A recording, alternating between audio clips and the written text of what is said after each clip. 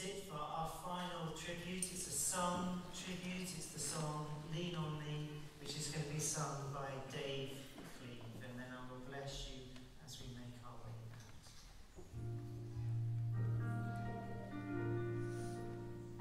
Dan didn't suffer fools gladly.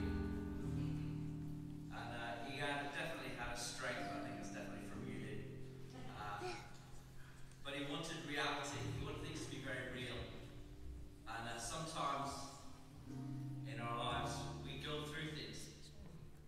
Dan's been through something and come out the other side of it.